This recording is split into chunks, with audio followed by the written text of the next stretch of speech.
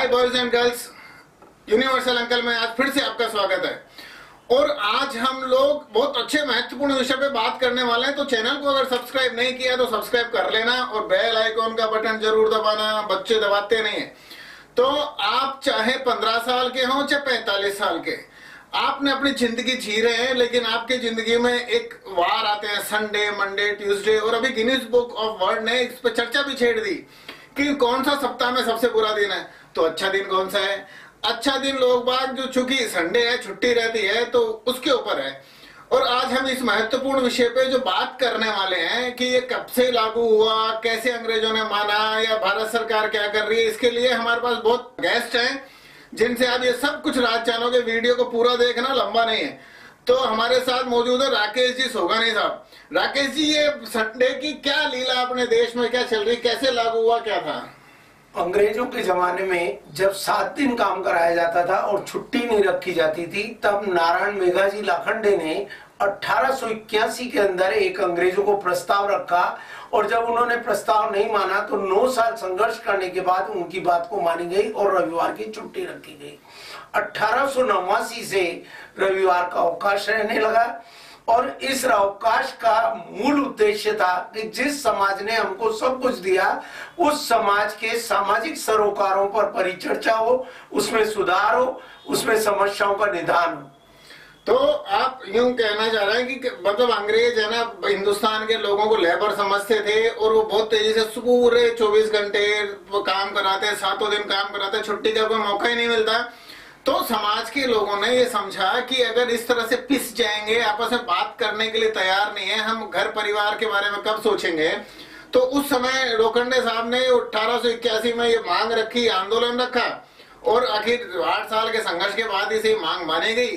तो तब से सामाजिक सरोकार लागू हुए। तो उसके बारे में, अब जो नया यूथ है राकेश जी, जो आज की तारीख में 2022 में जी रहा है वो संडे का कैसे उपयोग करता है, आप लोग समझते हैं, उसमें उनको क्या संदेश देते हैं? लगभग सवा सौ साल से हम संडे का अवकाश ये सुनते चले आ रहे हैं और हमारे हारमोन्स जैसे ही शनिवार आता है, अपने आप इस चीज़ के लिए विकसित हो जाते हैं कि कल संडे है और अवकाश है, मुझे कल का आनंद लेना है।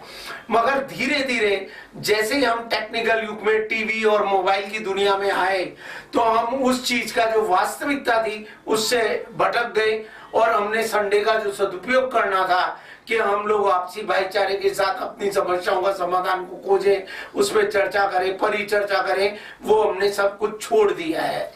तो और इसी वजह से आज हमको बहुत सारी परेशानियों का सामना करना पड़ रहा है।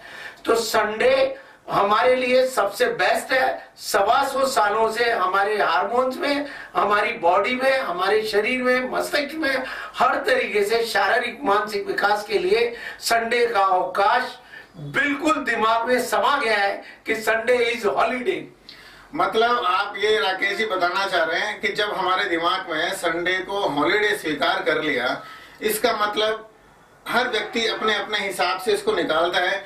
कोई सोचता है कि संडे मतलब मैं सोता रहूँगा।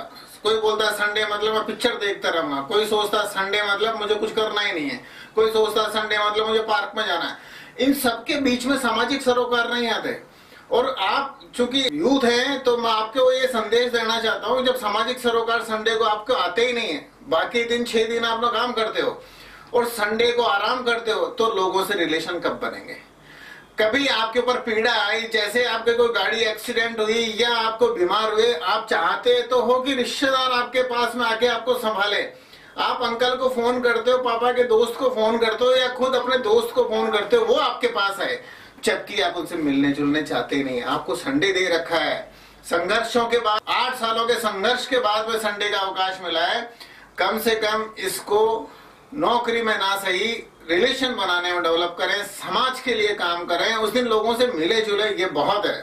पिछले 500 सालों का इतिहास है, अगर देश में किसी भी प्रकार का कोई प्रभावी परिवर्तन हुआ है तो वो सिर्फ़ युवाओं ने युवाओं ने युवाओं ने किया है।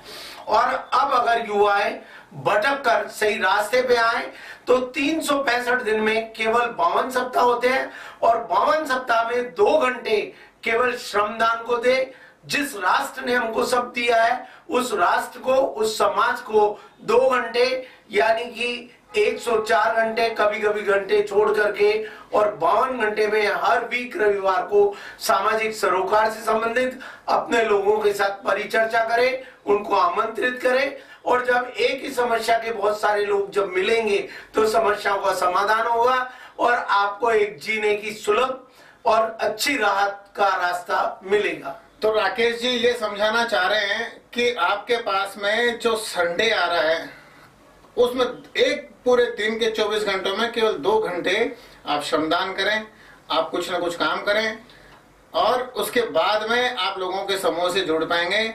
जय हिंद, वंदे मातरम।